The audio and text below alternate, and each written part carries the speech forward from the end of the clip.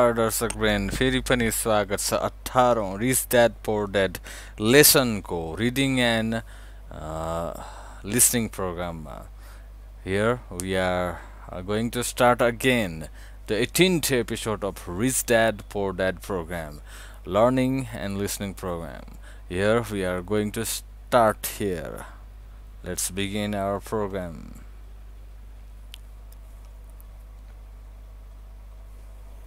It reminds me of the story of the guy sitting with firewood in his arms on a cold freezing night, and he is yelling at the pot-bellied stove, when you give me some heat, then I'll put some wood in. And when it comes to money, love, happiness, sales and contacts, all one needs to remember is first to give what you want and it will come back in droves. Often just the process of thinking of what I want, and how could I give what I want to someone else, breaks free a torrent of bounty. Whenever I feel that people aren't smiling at me, I simply begin smiling and saying hello, and like magic, there are suddenly more smiling people around me. It is true that your world is only a mirror of you. So that's why I say, teach and you shall receive. I have found that the more I sincerely teach those who want to learn, come back or what I have teachers, and he became a master teacher. My rich dad always taught young people his way of doing business. In retrospect, it was their generosity with what they knew that made them smarter. There are powers in this world that are much smarter than we are. You can get there on your own, but it's easier with the help of the powers that be. All you need to be is generous with what you have, and the powers will be generous with you. Chapter 10 Still want more? Here are some to-dos. Many people may not be satisfied with my 10 steps. They see them more as philosophies than actions. I think understanding the philosophy is just as important as the action.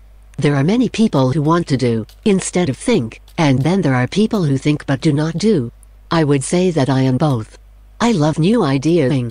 In other words, take a break and assess what is working and what is not working. The definition of insanity is doing the same thing and expecting a different result. Stop doing what is not working and look for something new to do. Look for new ideas. For new investing ideas, I go to bookstores and look for books on different and unique subjects. I call them formulas. I buy how to. Books on a formula I know nothing about. For example, it was in the bookstore that I found the book The 16% Solution, by Joel Moskowitz. I bought the book and read it. Take action. The next Thursday, I did exactly as the book said. Step by step. I have also done that with finding real estate bargains in attorneys' offices and in banks.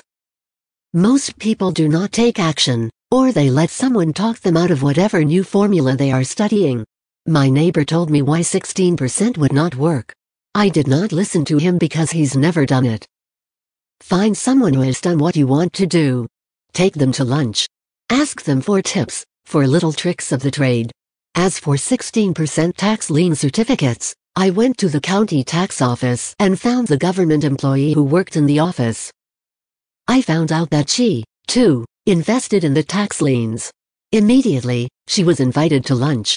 She was thrilled to tell me everything she knew and how to do it. After lunch, she spent all afternoon showing me everything.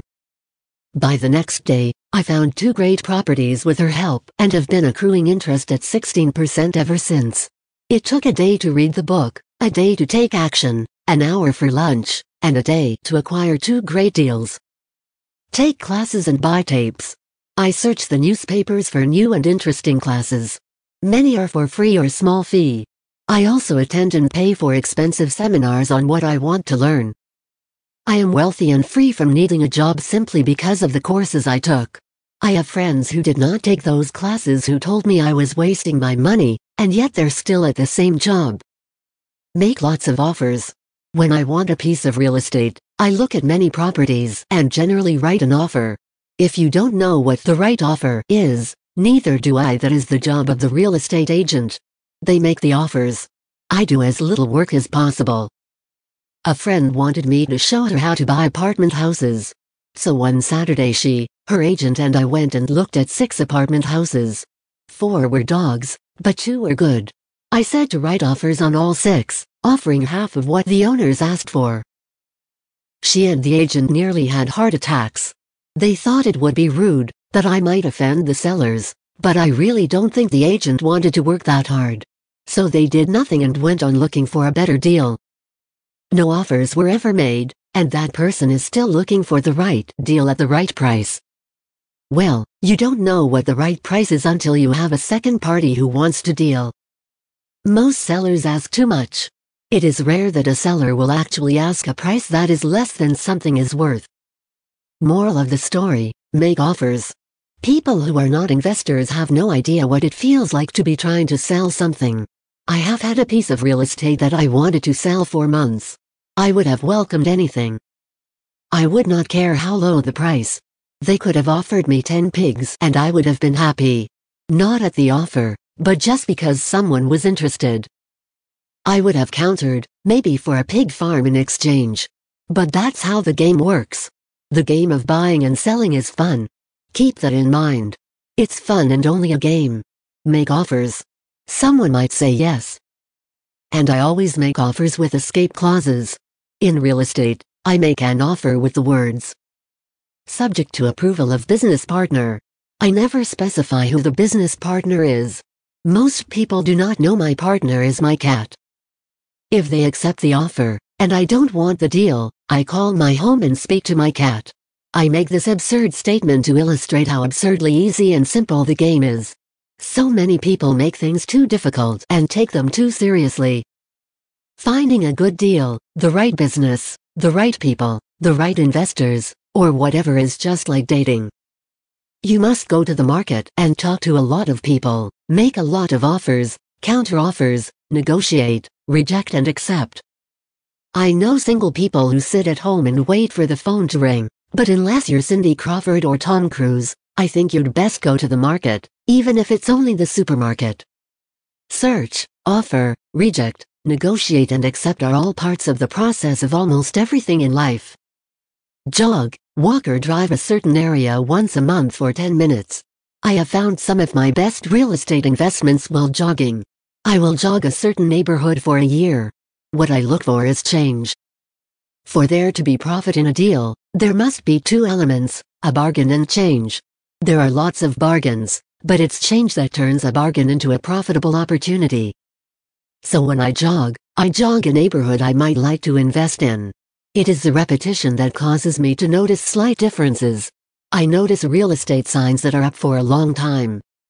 That means the seller might be more agreeable to deal. I watch for moving trucks, going in or out. I stop and talk to the drivers. I talk to the postal carriers. It's amazing how much information they acquire about an area. I find a bad area, especially an area that the news has scared everyone away from. I drive it for sometimes a year waiting for signs of something changing for the better. I talk to retailers, especially new ones, and find out why they're moving in. It takes only a few minutes a month, and I do it while doing something else, like exercising, or going to and from the store. As for stocks, I like Peter Lynch's book Beating the Street for his formula for selecting stocks that grow in value. I have found that the principles of finding value are the same regardless if it's real estate, stocks, mutual funds, new companies, a new pet, a new home, a new spouse, or a bargain on laundry detergent. The process is always the same. You need to know what you're looking for and then go look for it. Why consumers will always be poor. When the supermarket has a sale on, say, toilet paper, the consumer runs in and stocks up. When the stock market has a sale, most often called a crash or correction, the consumer runs away from it. When the supermarket raises its prices, the consumer shops elsewhere. When the stock market raises its prices, the consumer starts buying. Look in the right places. A neighbor bought a condominium for $100,000. I bought the identical condo next door to his for $50,000. He told me he's waiting for the price to go up. I told him that his profit is made when you buy, not when you sell. He shopped with a real estate broker who owns no property of their own. I shopped at the foreclosure department of a bank. I paid $500 for a class on how to do this. My neighbor thought that the $500 for a real estate investment class was too expensive. He said he could not afford it, and he couldn't afford the time. So he waits for the price to go up. I look for people who want to buy first, then I look for someone who wants to sell. A friend was looking for a certain piece of land. He had the money and did not have the time. I found a large piece of land larger than what my friend wanted to buy, tied it up with an option, called my friend and he wanted a piece of it. So I sold the piece to him and then bought the land. I kept the remaining land as mine for free. Moral of the story, buy the pie and cut it in pieces. Most people look for what they can afford, so they look too small. They buy only a piece of the pie, so they end up paying more for less. Small thinkers don't get the big breaks. If you want to get richer, think bigger first. Retailers love giving volume discounts, simply because most business people love big spenders. So even if you're small, you can always think big. When my company was in the market for computers, I called several friends and asked them if they were ready to buy also. We then went to different dealers and negotiated a great deal because we wanted to buy so many. I have done the same with stocks. Small people remain small because they think small. Act alone, or don't act at all. Learn from history. All the big companies on the stock exchange started out as small companies. Colonel Sanders did not get rich until after he lost everything in his 60s. Bill Gates was one of the richest men in the world before he was 30. Action always beats inaction. These are just a few of the things I have done and continue to do to recognize opportunities. The important words being done and do as repeated many times throughout the book, you must take action before you can receive the financial rewards. Act now. Epilogue. How to pay for a child's college education for $7,000. As the book draws to a close and approaches publication, I would like to share a final thought with you. The main reason I wrote this book was to share insights into how increased financial intelligence can be used to solve many of life's common problems. Without financial training, we all too often use the standard formulas to get through life, such as to work hard, save, borrow and pay excessive taxes. Today we need better information. I use the following story as a final example of a financial problem that confronts many young families today. How do you afford a good education for your children and or children's college education? He was putting $300 away in a mutual fund each month and had so far accumulated about $12,000. He estimated he needed $400,000 to get four children through college. He had 12 years to save for it, since his oldest child was then 6 years of age.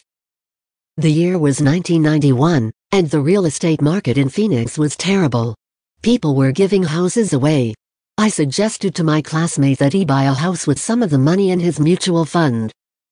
The idea intrigued him and we began to discuss the possibility. His primary concern was that he did not have the credit with the bank to buy another house, since he was so overextended.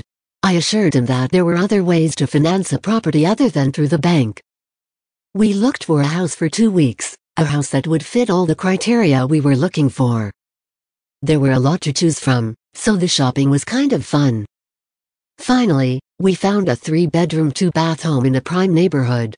The owner had been downsized and needed to sell that day because he and his family were moving to California where another job waited. He wanted $102,000, but we offered only $79,000. He took it immediately. The home had on it what is called a non-qualifying loan, which means even a bum without a job could buy it without a banker's approval. The owner owed $72,000 so all my friend had to come up with was $7,000, the difference in price between what was owed and what it sold for. As soon as the owner moved, my friend put the house up for rent.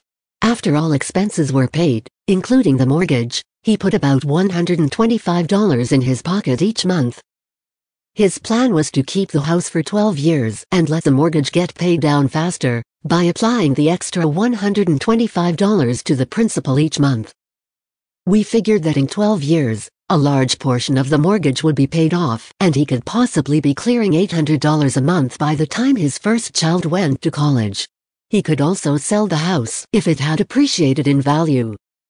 In 1994, the real estate market suddenly changed in Phoenix, and he was offered $156,000 for the same house by the tenant who lived in it and loved it.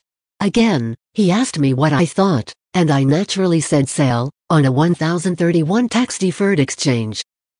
Suddenly, he had nearly $80,000 to operate with. I called another friend in Austin, Texas who then moved this tax deferred money into a mini storage facility. Within three months, he began receiving checks for a little less than a $1,000 a month in income which he then poured back into the college mutual fund that was now building much faster. In 1996, the mini warehouse sold and he received a check for nearly $330,000 as proceeds from the sale which was again rolled into a new project that would now throw off over $3,000 a month in income, again. Going into the college mutual fund, he is now very confident that his goal of $400,000 will be met easily, and it only took $7,000 to start and a little financial intelligence. His children will be able to afford the education that they want and he will then use the underlying asset, wrapped in his C corporation, to pay for his retirement. As a result of this successful investment strategy he will be able to retire early. Thank you for reading this book. I hope it has provided some insights into utilizing the power of money to work for you. Today, we need greater financial intelligence to simply survive. The idea that it takes money to make money is the thinking of financially unsophisticated people. It does not mean that they are not intelligent. They have simply not learned the science of making money. Money is only an idea. If you want more money simply change your thinking. Every self-made person started small with an idea, then turned it into something big. The same applies with investing. It takes only a few dollars to start and grow it into something big. I meet so many people who spend their lives chasing the big deal, or trying to mass a lot of money to get into a big deal, but to me that is foolish. Too often I have seen unsophisticated investors put their large nest egg into one deal and lose most of it rapidly. They may have been good workers, but they were not good investors. Education and wisdom about money are important. Start early. Buy a book. Go to a seminar. Practice. Start small. I turned $5,000 cash into a $1 million asset producing $5,000 a month cash flow in less than six years. But I started learning as a kid. I encourage you to learn because it's not that hard. In fact, it's kind of easy once you get the hang of it. I think I have made my message clear. It's what is in your head that determines what is in your hands. Money is only an idea. There is a great book called Think and Grow Rich. The title is not Work Hard and Grow Rich. Learn to have money work hard for you and your life will be easier and happier. Today, don't play it safe, play it smart. Take action. Many of you were given two great gifts, your mind and your time. It is up to you to do what you please with both. With each dollar bill that enters your hand, you and only you have the power to determine your destiny. Spend it foolishly, you choose to be poor. Spend it on liabilities, you join the middle class. Invest it in your mind and learn how to acquire assets, and you will be choosing wealth as your goal and your future.